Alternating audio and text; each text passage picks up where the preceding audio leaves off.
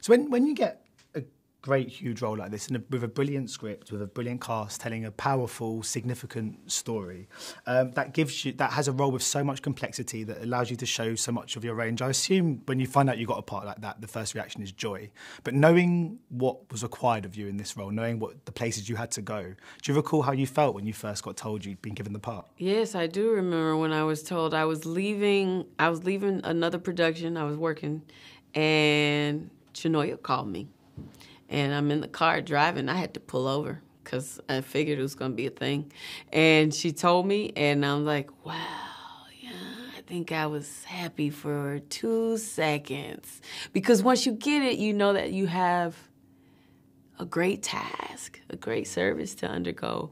And so I felt that weight at that point. Um, but you know, it's supposed to it's supposed to feel like that. That's what this that's what that experience is. That history is on American um, on that American um, moment uh, and legacy because it's reverberated to now, right? So. Um, I can smile today. I can have joy in sharing what she always wanted to be um, to be shared. I only can smile today, but did it take a while after the shoot sort of finished to go back to feeling yourself? Because I mean, you had to let your mind go to. I mean, it's the unthinkable where you had to let your mind. It go. is quite the unthinkable to undergo um, this, uh, and then you go, and then she underwent it. Right? Um, it took time to recover, recuperate. Lots of acupuncture therapy and um, uh, physical therapy and uh, what else? Bunch of other stuff.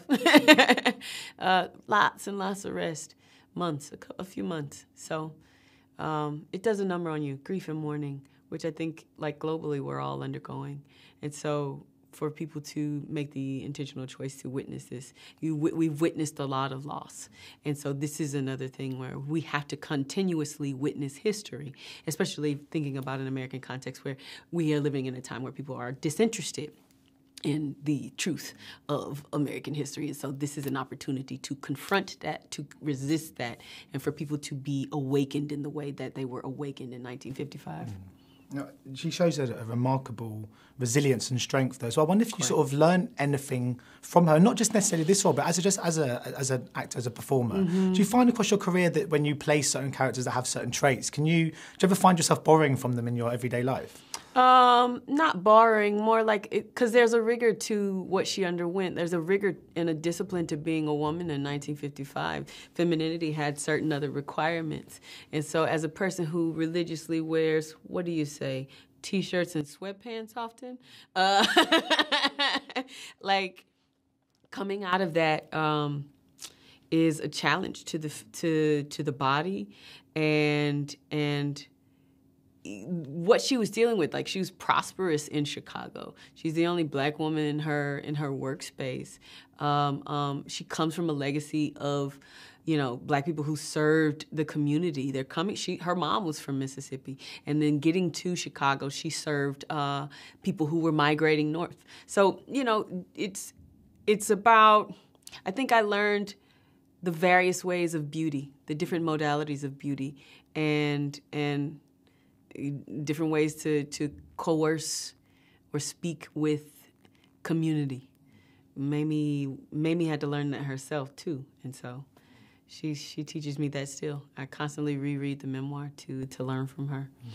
Because it feels like she sort of displays a sort of strength. It feels like only a mother can. I just wonder, did you have any kind of strong mm. female presences in your life, be it a parent, be it a oh, teacher, oh, wow. or yeah. grandparents that you were able to draw on when you were playing Numerous this? women. My mother is uh, the utmost of a strong and like I like everything like performance art. My performance artwork, my personal work is all about the public and private nature of Black women's labor, and so I'm incessantly uh, engaging with Black women who are my peers, who are artists, who are my friends, who are um, you know my mom, my grandmother, uh, um, different folks who are actors who incessantly teach me, mentors, my my OGs, like I'm incessantly pulling from black women. They, you know, what Trevor Noah said the other day. they are the people who have who have taught him about what it means to be in this world and who are incessantly thinking about the how to be equitable in in community, nationally, globally. We are, you know, they are the ones who are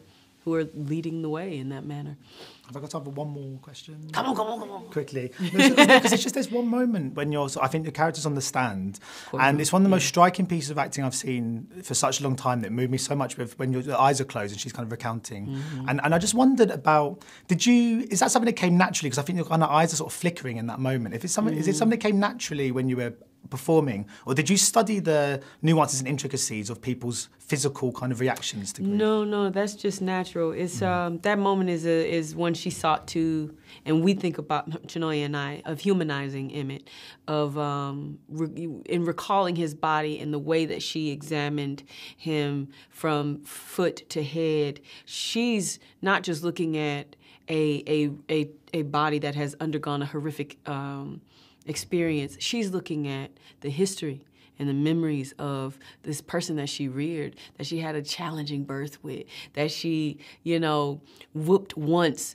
but would never do again because she understood what would happen, what what that did to him, and and only wanted to give him joy. This person that she gave independence to, and he went off and like paid her bills and came back and had the change and all this beautiful stuff his knees that are her family's knees, his beautiful eye color. She's remembering everything about how glorious he was. Um, and so that's, I mean, when I'm in that moment, it's it's just, you know, it's you're just there. Uh, and you're trying to, and then to be in a space where you're looking at people who are completely don't give a shit about that humanity, um, you close and you remember more and see more in the dark than you do in the light, even though you're as you're trying to bring this darkness to the light. Hope that makes sense. Thank you so much for your time today. Thank, Thank you Cheers. so much, luck. Stephen. Ladies and gentlemen, you're watching Hey You Guys! Hey, you guys, huh? You guys. Is that from the Goonies? It is indeed, yeah. Nice. Hey,